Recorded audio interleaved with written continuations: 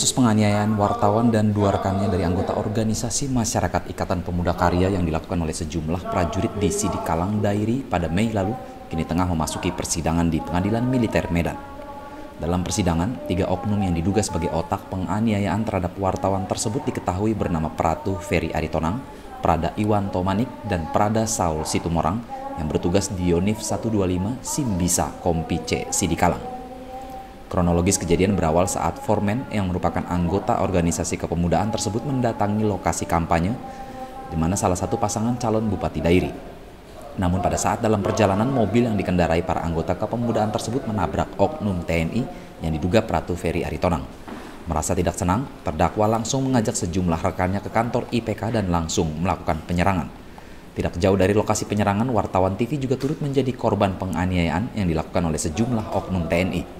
Meski sudah mengaku sebagai media, namun penganiayaan berupa pukulan ke arah korban semakin menjadi. Kini atas perbuatan tersebut, majelis hakim memproses ketiga oknum TNI Angkatan Darat tersebut sesuai dengan undang-undang yang berlaku dan sidang selanjutnya akan digelar pada minggu depan dengan agenda pemeriksaan beberapa saksi lainnya. Tiga tersangka pelaku tadi yang dari TNI, jadi dimintai beberapa keterangan seperti apa kronologis apa semua peristiwanya gitu. Ada mengganjal bang dalam persidangan ini? Tadi ada satu yang mengganjal terkait dipanggil tadi ada tanda tangan di BAP. Nah, jadi tadi BAP ada yang salah, sepertinya bukan BAP saya. Jadi ada tanda tangan itu, saya bilang ini bukan bukan tanda tangan saya. Jadi ada beberapa tanda tangan apa semua, sepertinya bukan tanda tangan saya lah. Itu yang saya. Kalau yang lain-lain sih nggak ada masalah, keterangan semua udah. Apa yang berbeda dari, dari BAP itu? Tadi ada yang satu itu tadi panggil ke depan, itu ada menunjukkan nama si si Peri memukul bagian ini Terus sepertinya saya nggak pernah beri keterangan itu di di kantor PMD di Kalang. Tadi kan kami tidak dengar bang apa tanggapan dari ke tuan. Kalau tadi kan suruh udah selesai saya tanggapin itu udah suruh duduk lagi. Nah, yang pasti kalau pasien saya itu bukan tantangan saya.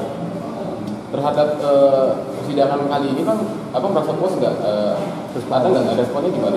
Kalau saya puas, nah, misalkan puas, nah, cuman paling uh, hukumannya lah mudah-mudahan uh, hakimnya ya diperlakukan sesuai dengan aturan lah aturan yang berlaku.